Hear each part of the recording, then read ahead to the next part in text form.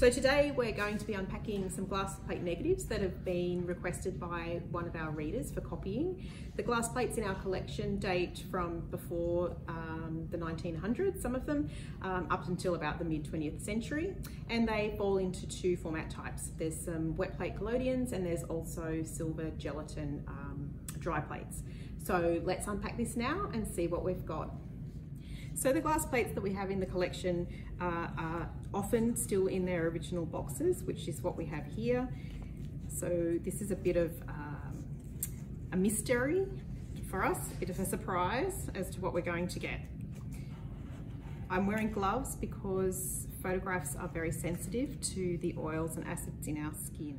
The best way to unpack a box like this is basically to to turn it over so that you can unstack the plates um, rather than trying to pull them out of the box. So this is the precarious part where we do a turn.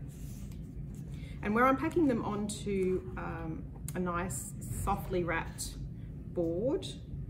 So here you see that there's some packing paper and these are gelatin dry plates. So that's indicative from their color so that really contrasty color that we've got there. And very dark. So a collodion would look like a light gray. And you can see here that there's also some um, silver mirroring, which is a form of deterioration on the plate, and it's caused primarily by moisture coming in from the sides and reacting with the silver that's in the image. So I'm going to look now for the plate that the reader has requested and we'll have a look at that on the light box.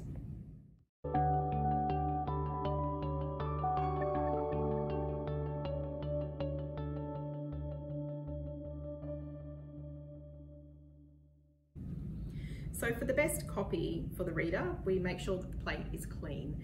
Um, and to do that, we brush the emulsion side very gently with a very soft brush just to remove any loose dirt. And then if the other side is dirty, we will also clean the glass with a solution of alcohol and water.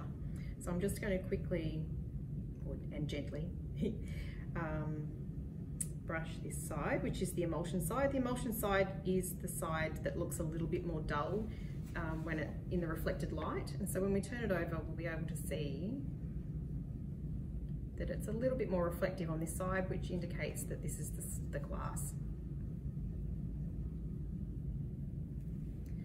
So the solution I apply with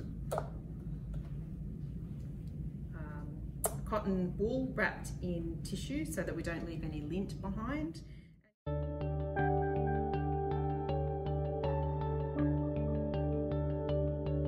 Now that it's clean, we can have a look at it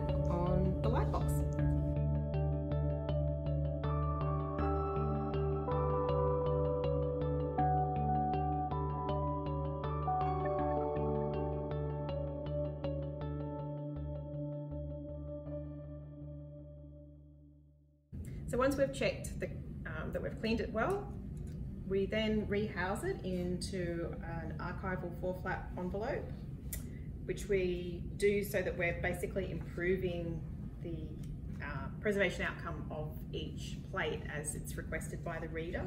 Once it's been digitized, it will then be available for the reader and it won't be issued in the reading room, it goes back to storage.